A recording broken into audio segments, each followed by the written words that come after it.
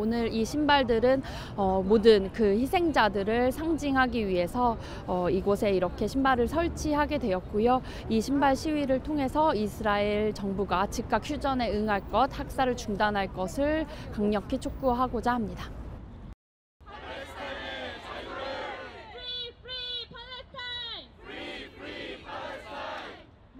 We are also human, we have to right.